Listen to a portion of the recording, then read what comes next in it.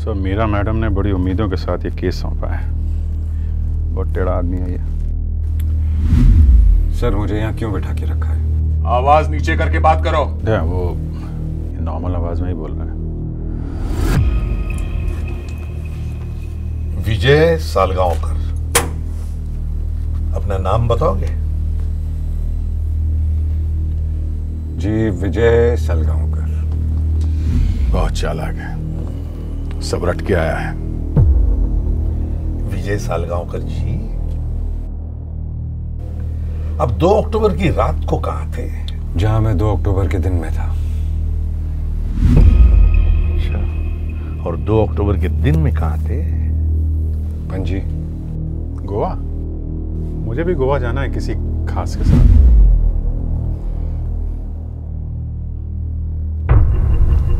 पंजी में किस लिए गए थे?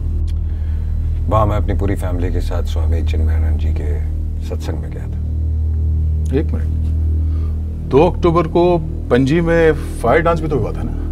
वहाँ क्यों नहीं गए तुम हा? क्योंकि 2 अक्टूबर को मुझे स्वामी चिन्मयानंद जी के सत्संग में ही जाना था। तो तुम्हारी इमरजेंसी छुट्टियाँ फायर डांस में बीती थी। सर वो मैं देख लेता हूँ मैं क्या करना है। सर आप मुझे बताएँगे? आपने मुझे यहाँ क्यों बुलाया? है समीर देशमुख के खून के सिलसिले में। समीर देशमुख? वो कौन है? समीर देशमुख वो कौन है? सर मैं किसी समीर देशमुख को नहीं जानता। वही समीर देशमुख जो 2 अक्टूबर की रात को तुम्हारे घर आया था और उसके बाद में वो लापता हो गया। पर सर अभी अभी मैंने आपको बताया कि मैं 2 अक्टूबर को स्वामी चिन्मयानंद जी के सत्संग में था। पर उसी रात समीर देशमुख की गाड़ी में तुम्हें देखा गया था। चौथी फेल कमार आदमी। बहुत अड़ियल है। गवर्नर नहीं सुजित बहुत शातिर रही है जिस तरह से अपने जवाबों पर टिका हुआ है उससे तो यही लगता है कि मुजरिम यही है। वैसे स्वामी जी के सत्संग में कितने बजे पहुँचे थे? हम्म, लगभग आठ बजे।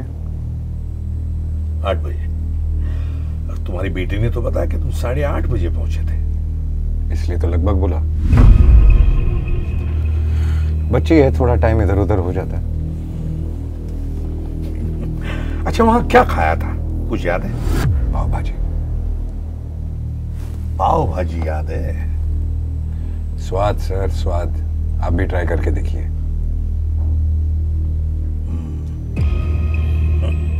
बड़ा चालाक है ये। शातिर दिमाग है। गड़बड़े बहुत बड़ी गड़बड़े ये। माथे पे शिकन नहीं। शरीर में कंपन नहीं। आवाज़ में डर नहीं। पक्का है सर। समीर देशमुख का खून इसी ने किया है। ये तो मीरा मैडम भी बोल रही थी पर सबूत कहाँ है? मिलेगा। सबूत भी मिलेगा। क्या लगता है सबूत मिलेगा या नहीं? पर जो भी हो केस तो रीओपन होगा ही। Hashtag Drishyam two case reopens on 18th November 2022